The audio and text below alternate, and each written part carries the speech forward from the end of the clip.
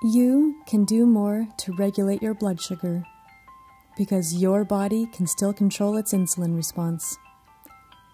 And they take Italica once a day to activate their body to help control their blood sugar like it's supposed to. Italica is not insulin. It is a dark green vegetable, is grown in dirt, and it can be purchased without a prescription.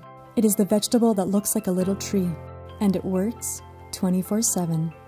Italica is also known as broccoli and is found in most grocery stores in the vegetable aisle. Use Italica to help decrease your insulin resistance, especially if you have type 2 diabetes. It works best with a healthy diet and exercise. It should not be the only vegetable to help control your blood sugar. Do not consume Italica if you have a personal or family history of a strong aversion to eating healthy, if you haven't learned how to cut a vegetable, or if you are allergic to common sense. Stop taking Italica and call your doctor right away if you have a lump or swelling in your neck, have severe dehydration, or have difficulty breathing, because it's probably not the broccoli. Severe symptoms may include improved gut function.